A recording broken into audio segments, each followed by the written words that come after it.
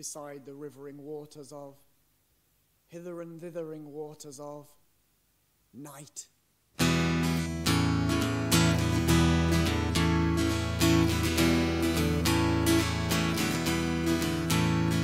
the moonlight by the sea, in a country, in a town, now quickly, now slowly, now in pain, now in love, in different shapes.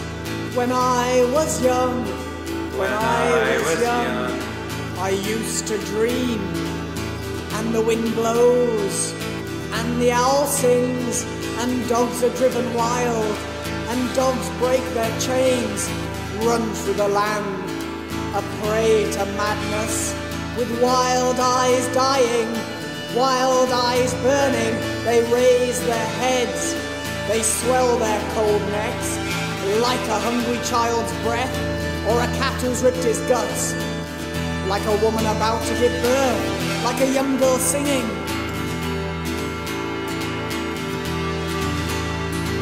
At the stars in the north, at the stars in the south, at the stars in the west, at the stars in the east, at the moon, at the mountains, at the rocks, at the pain, at the thief, at the snakes, reveal their black, black backs, fresh flesh. Glazed eyes stare from long pale human faces. We cannot satisfy the hopes. We are now dead. We are We are all dead. The hammer breaks the anvil. From the cleft of its hood, it was fair as morning and full of heaven dew. Then it put on darkness, declined its softness, and put on the symptoms of this sickly age.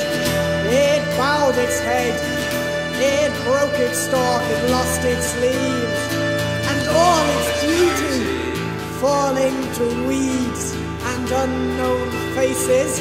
The same is the portion of man and woman, the black heritage of worms and serpents, rottenness and cold discharge. Our beauty is now so changed, my friend, my friends. by violence and secret influence. The aspect of a star, by the stink of a mist, by emissions of a cloud, the meeting of vapors, By the falling of chariots, the stumbling of stones, by a full meal, or an empty stomach, by watching at the wine, or by watching watching at at prayers. prayers of the sun and the moon, by a heat or a cold, by sleepless nights or sleeping days, by water frozen to the hardness of a dagger, water into the floods of a river, by a hair or a current, by violent motion, by sitting still, by severity, or dissolution by God's mercy or God's anger. We take our pains to heap up things useful to our life, and we get our death in the bargain. Person is snatched away, and the goods remain. And all this is the law and constitution of nature and Wales. It is a punishment to our sins, the unalterable event of providence, and the decree.